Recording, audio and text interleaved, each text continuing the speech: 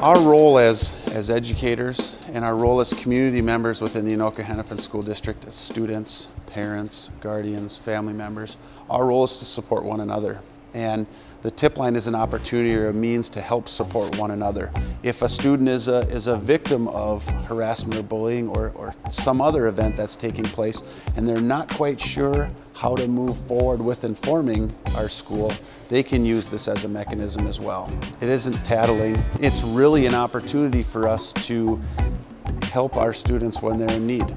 It is very easy to use and when used correctly, that 15, 20 seconds of time to help provide support for someone else who may or may not know could mean all the difference in the world.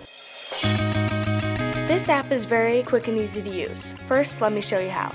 You enter your tip, click on camera to add a screenshot.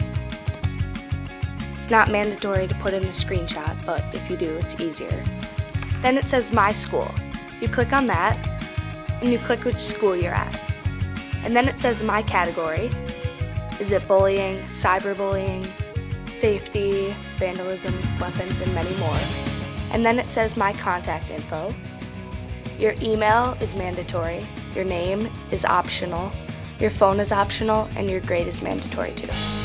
And then all you have to do is click submit and you're done. While I represent Champlin Park High School as the principal, I too am a family member and a parent of kids who attend this school district. Students, I encourage you to use this tip line in an effort to either help yourself or one of your fellow students when they're in need.